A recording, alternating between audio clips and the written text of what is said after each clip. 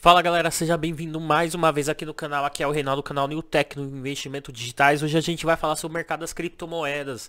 Depois da alta desde o começo da semana de mais de 8%, o Bitcoin hoje ele acorda com uma queda de quase 2%. Então, subiu 8%, já devolveu cerca de 2%. Uh, então a gente vai falar sobre o mercado, a gente vai falar também sobre é, os próximos passos. Será que o Bitcoin ele sobe? Será que o Bitcoin desce? Eu vou dar minha opinião sobre essa linha de raciocínio que muitas vezes é aplicada, beleza? Então fica comigo até o final desse vídeo que a gente vai falar sobre isso e muito mais coisas, beleza? Então é isso aí. Vamos lá, então, o Bitcoin agora ele está cotado a 10.449 dólares, uma alta nos últimos 7 dias de 3,48%. Nas últimas 24 horas ele já está em queda de menos 1,97.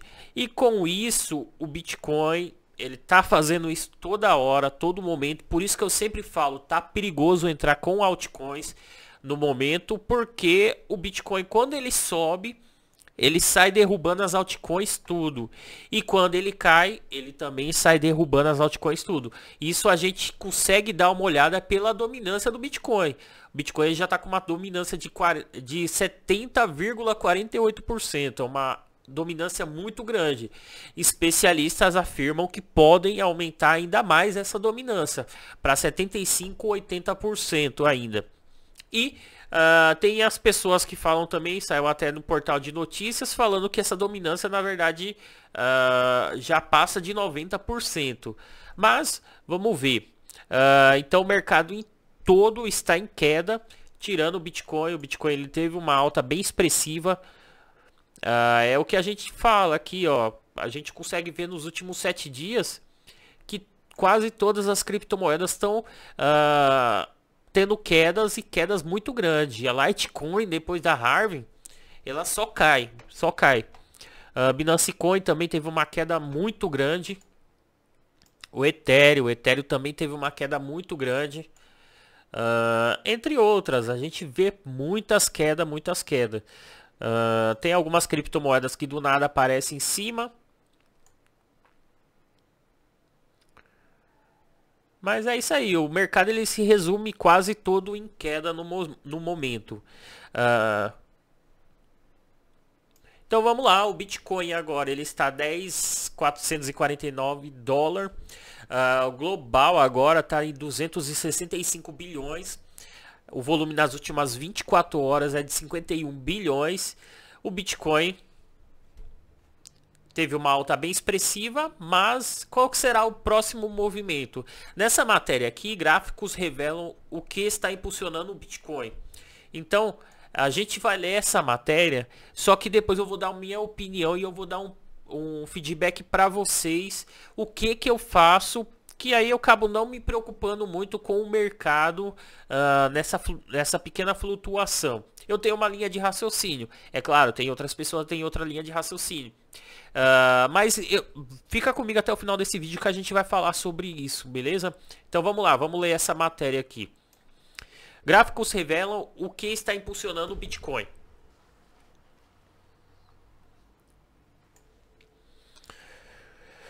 Nos últimos dias, a criptomoeda tem vivido uma fase de restabelecimento e recuperação de valores para entender o atual panorama positivo do Bitcoin. Especialistas estão apontando três cenários diferentes que têm contribuído para isto. Trata-se da movimentação nos gráficos que mostra um momento bastante promissor para o ativo, que tende a colocá-lo em valores ainda mais elevados caso continue. Vamos lá então, o panorama técnico de alta do Bitcoin. Em primeiro lugar, os gráficos atuais do Bitcoin indicam que seus últimos pontos de baixa mensais houve uma acumulação maior do ativo. Assim sendo, uh, Assim que as perspectivas mudaram e tornaram-se novamente positivas, a criptomoeda já tinha margem para ganhar força. Além disso, alguns especialistas estão otimistas ao analisar projetos anteriores do Bitcoin que, apresent... que apresentaram o mesmo tipo de comportamento. Uh, então, esse seria um ponto. uh, a acumulação que está tendo do Bitcoin nesses últimos, nesse último canal de baixa tem acumulado muito ativos. Uh, vamos lá, a fase de, ac de acumulação também ajuda o ativo, é claro. Aí o segundo, o segundo ponto, o desempenho do Bitcoin no dia a dia. Vamos lá. Nesta quarta-feira, o ativo continua a sua trajetória de ganhos, embora neste momento o Bitcoin opere com uma leve queda. Seus valores já alcançaram o patamar de 10.500 dólares. É o que está agora no momento. Próximo disso, o que, o que faz o mercado mirar em um novo valor chave para 11 mil dólares, caso a expectativa mais otimista do ativo se mantenha. O, pra, pro, o prognóstico mais positivo com relação a este deve se manter, sobretudo as tendências apostadas no gráfico se manterem. Então, a matéria ela termina aqui.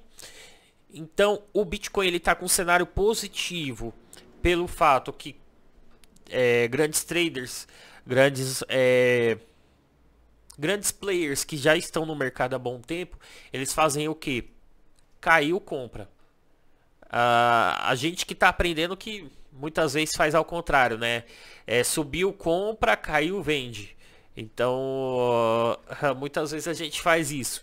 Mas os grandes players que já estão no mercado há muito tempo, o que, que eles fazem?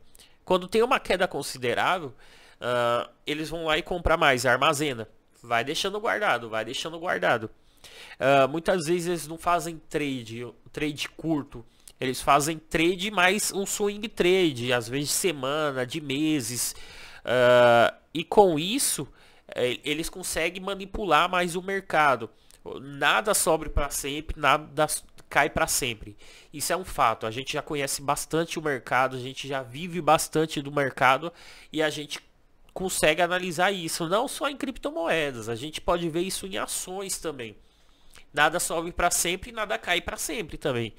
Então, o Bitcoin está num cenário muito positivo, mas é, muitas pessoas estão entrando no mercado para tentar resultado rápido, tentar, ah, eu quero enriquecer rápido, meu, isso aí não existe. Beleza?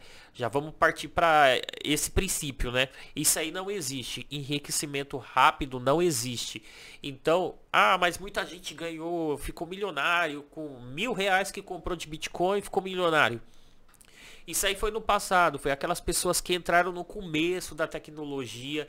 Só que isso aí eu acho que dificilmente irá acontecer novamente. Eu não vou falar impossível porque não dá para prever que vai subir, não dá para prever se vai cair, mas é, eu acho que bem improvável isso acontecer novamente.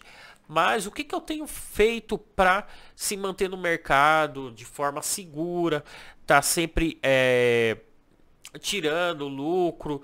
É claro, eu não saio do mercado. Tipo, a minha intenção com o Bitcoin é aumentar meu número de, de Bitcoin.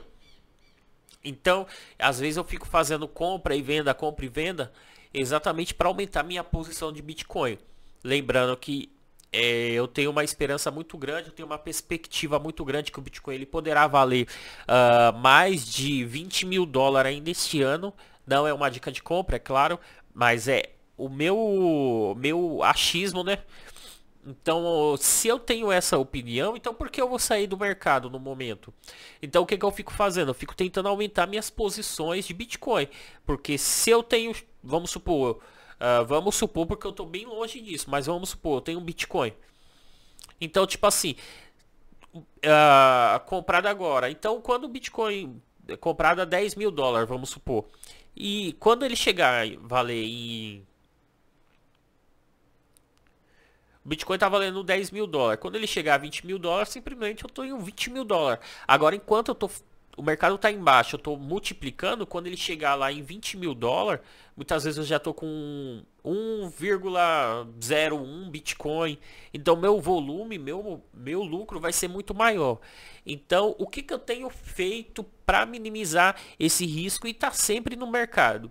Compra, par, compra parcelada.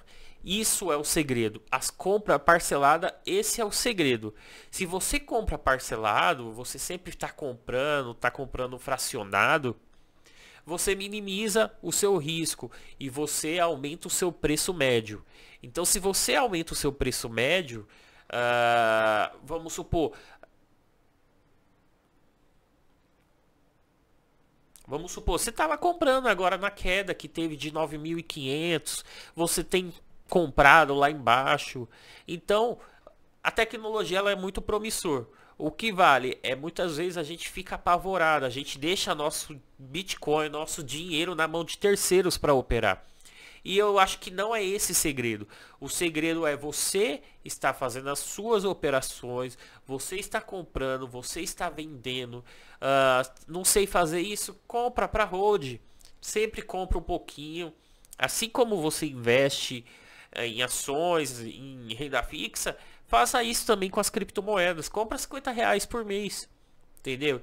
Então, tipo assim, não faça loucuras, porque muita gente no momento tem falado, ah, o Bitcoin vai cair a 3 mil dólares, ah, o Bitcoin vai cair a 8, ah, o Bitcoin vai cair a 12, vai vai subir a 12, ah, o Bitcoin vai subir a 15, ah, vai valer 480 mil dólares.